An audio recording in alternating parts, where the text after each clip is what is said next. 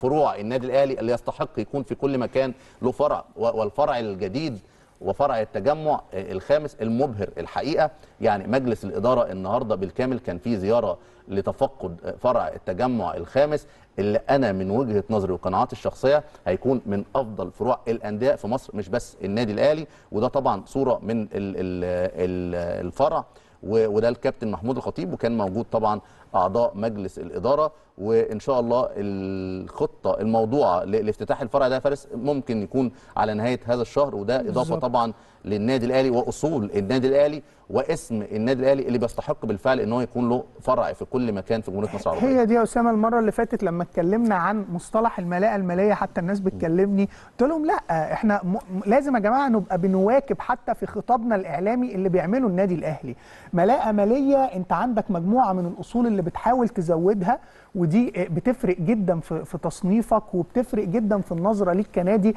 وأنا بقول إن فكرة نجاح النادي الأهلي اجتماعيا مع رياضيا ده شيء صعب جدا. كابتن محمود الخطيب كان معني بعدد من الملفات مع عودته. يمكن بدأنا نشوف الملفات تباعا. النهارده كان موجود هو وأغلب أعضاء مجلس الإدارة.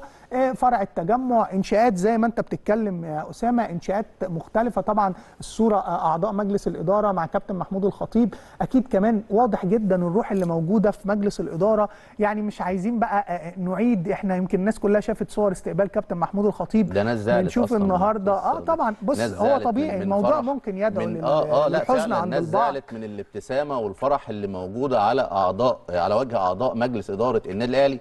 زعلوا من التكاتف اللي موجود ما بين أعضاء مجلس إدارة النادي الأهلي. زعلوا من حالة الحب اللي موجودة بين أعضاء مجلس إدارة النادي الأهلي واتكلموا بشكل سلبي جدا ولكن يعني لن نلتفت لمثل هذه السلبيات.